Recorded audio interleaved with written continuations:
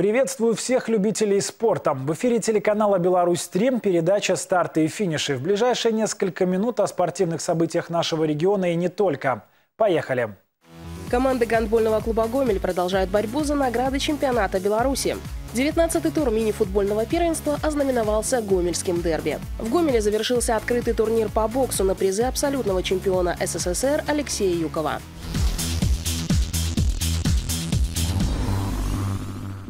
Завершился первый этап в женском и мужском чемпионатах Беларуси по гандболу. Обошлось без сюрпризов. Команды гандбольного клуба «Гомель» продолжают борьбу за награды.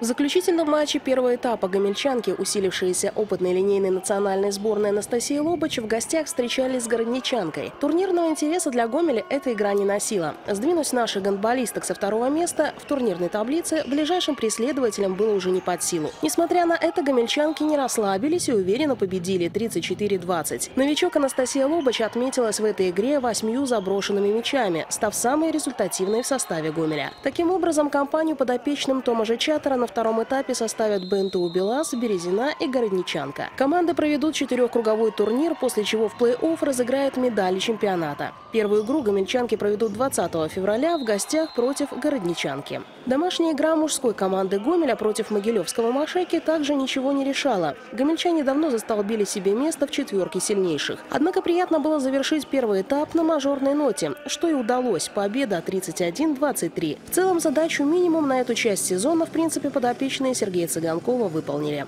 Ну, ставилась задача, конечно, так, внутри коллектива забрать очки, более уверенно сыграть с командой Скаминск.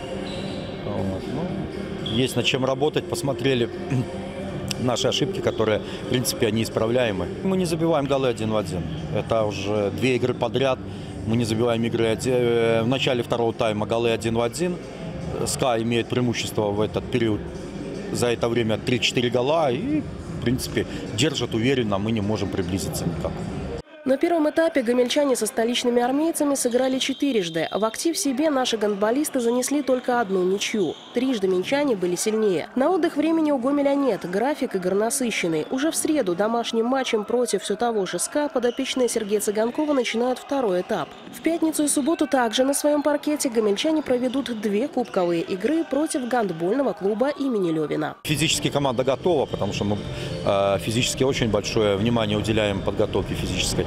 Поэтому в этом плане все нормально. Главное, чтобы ребята были здоровы. Компанию на втором этапе Гомелю, кроме СКА, также составит Кронон и БГК имени Мешкова. После двухкругового турнира команды определят призеров в матчах плей-офф.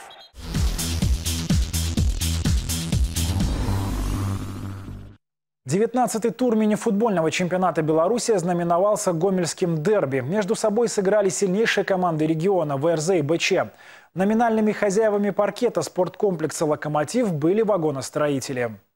В первом круге команды выдали весьма напряженный и интересный матч. Тогда при практически равной игре ВРЗ победил 3-0. И ясно, что в этот раз железнодорожники намерены взять реванш. У вагоностроителей другая ситуация. В минувшем туре они уступили агрокомбинату «Южный», который обитает в самом низу турнирной таблицы. Им неплохо было бы реабилитироваться перед своими болельщиками. При любом исходе единственные, кто в любом случае останутся в это зрители на трибунах. Матч оправдал все ожидания. Первый тайм проходил буквально без середины. Правда, команды пытались сыграть доверного и затолкать мяч у ворота. А потому до действительно опасных ударов доходило редко. На 17-й минуте Артем Золотухин имел хорошую возможность вывести железнодорожников вперед, однако не смог переиграть голкипера ВРЗ Юрия Дегтяренко. Последний, кстати, славится своими подключениями в атаку. И этот матч исключением не стал. Как минимум трижды вратарь во время своих вылазок к центру поля создавал вполне явную опасность у ворот соперника. Один из таких вояжей Дегтяренко перед самой сиреной сборной на перерыв чуть не завершился голом. После удара украинского легионера мяч попал в штангу ворот его визави Владимира Стремилова. Старт второго тайма остался за ВРЗ. Вагоностроители устроили настоящую бомбардировку ворот Стремилова. Только спустя пару минут железнодорожники очнулись и ответили опасной контратакой. Андреевский на дальней штанге не смог замкнуть передачу партнера. Вы знаете, у нас вообще как бы получается немножко у команды проблема, что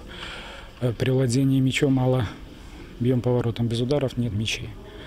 Конечно, старались направлять, э, акцентировать ворота, потому что, э, чтобы забить, нужно попадать в ворота. И на шестой минуте нацеленность на ворота принесла плоды. Болельщики увидели первый гол. После удара Степана Струка Стремилов отбил мяч прямо в ногу Шулькина, от которого мяч отскочил в ворота. Футболисты БЧ бросились отыгрываться. Несколько неплохих моментов было у Андреевского. Также железнодорожники несколько раз проверили на прочность каркас ворот соперника. Однако забить следующими все же суждено было вагоностроителям. Отличился лидер атак ВРЗ Евгений Клочко. С его дальним ударом Стремилов справиться не сумел. 2-0. Первый тайм, э, опять же, за исключением двух опасностей у наших ворот, то есть, ну, я считаю, что контролировали ход игры, да. Вот. Второй тайм, э, если еще ВРЗ немножко подпрессинговывало, то второй тайм они практически сели на свою половину. Вот. Это, с одной стороны, легче взлому, э, тяжелее взлому, с другой стороны, опасность всегда контратак. Вот, в принципе, мы на двух контратаках это и как бы получили эти голы. За пять минут до финальной сирены Александр Даниленко выпустил пятого полевого. Однако позиционное нападение успехов не приносило. Дело даже до ударов доходило редко. Через две минуты главком БЧ взял тайм-аут. После его наставления один гол удалось отыграть, причем практически сразу. Черниенко нашел пасом дежурившего ворот соперника Коцура, который немного подработал мяч и направил его в дальнюю девятку. После этого тайм-аут взял уже Анатолий Яновский. Правда, это его команде не помогло. Железнодорожники продолжали давить и за 24 секунды до финальной сирены сравняли счет. Причем второй гол получился близнецом первого, только с одной разницей. После передачи Черниенко Коцур направил мяч в ближайшую девятку. 2-2 – справедливый итог красивого противостояния. Светлогорский ЦКК в 19-м туре на своей площадке забил 6 безответных мячей в ворота охраны «Динамо». Агрокомбинат «Южный» получил в свои ворота 6 мячей в игре с «Мопидом». Забили южане только однажды. В среду команды сыграют матчи 20-го тура. БЧ будет принимать «Мопид», Южный дома сыграет со столицей. ВРЗ поедет в гости к охране «Динамо», а ЦКК к УВД «Динамо».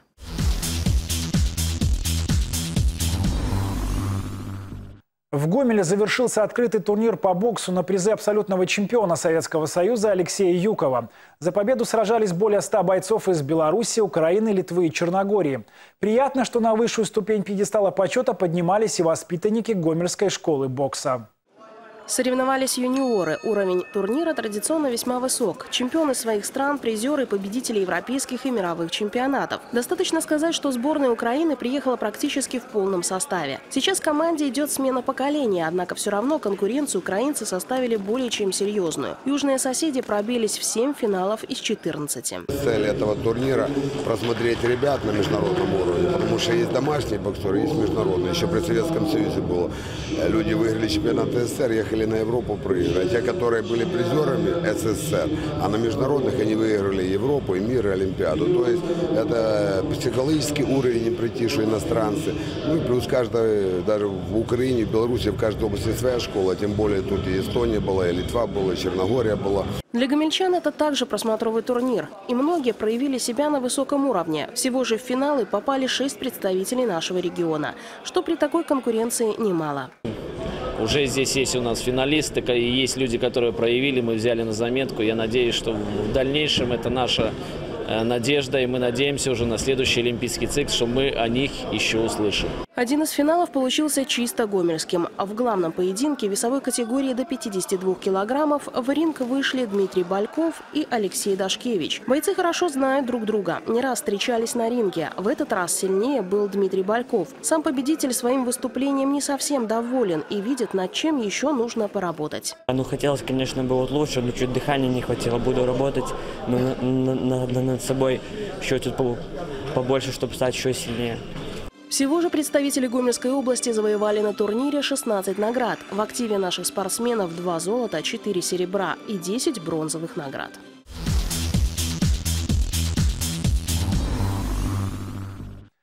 Юные легкоатлеты Гомельской области получили заслуженные награды. Представители областного отделения Федерации поздравили спортсменов с призовыми местами на республиканской спартакиаде.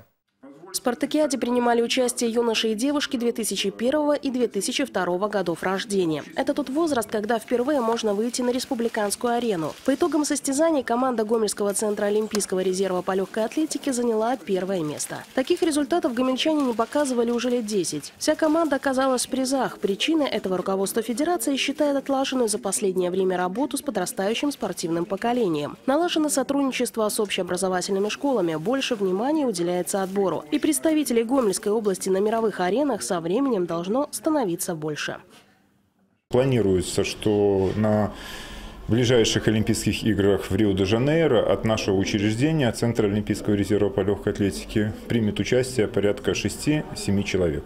В данный момент уже тремя а, завоеваны лицензии. Это приемка Децук Прямов и на подходе в принципе, ведущие спортсмены – это Кравченко, то есть основные старты у них начнутся в марте месяце, где они смогут завоевать лицензии на главный старт четырехлетия.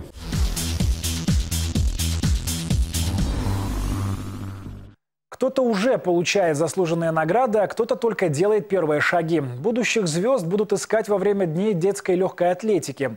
Мероприятие проходит под эгидой Международной ассоциации легкоатлетических федераций. Участие принимают учащиеся четвертых классов. Первыми свои силы испытали школьники Новобелецкого района Гомеля. Идея такова – провести соревнования среди команд школ всех районов Гомеля, а также некоторых регионов Гомельской области. Победители примут участие в финале. Первыми в легкоатлетическом манеже соревновали школьники Новобелецкого района. Всего 10 команд по 10 человек в каждой. Видов программы также 10. Это бег, прыжки и различные виды метаний. После дружной разминки ребята расходятся по базам. Для них это как игра, а вот тренеры всерьез присматриваются. Ребята покажут свою силу, ловкость, умение – значит, бегать, прыгать и э, позволит отобрать лучших э, значит, среди детей, те, которые смогут потенциально участвовать ну, во всех дисциплинах легкоатлетических и не только. Эстафету новобелецких школьников примут и ребята из других районов Гомеля и области. Финал соревнований состоится в мае. Лучшие команды из каждого региона разыграют главные призы.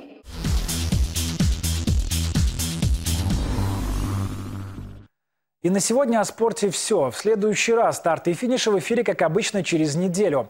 С вами был Максим Савин. Удачи в делах и до встречи.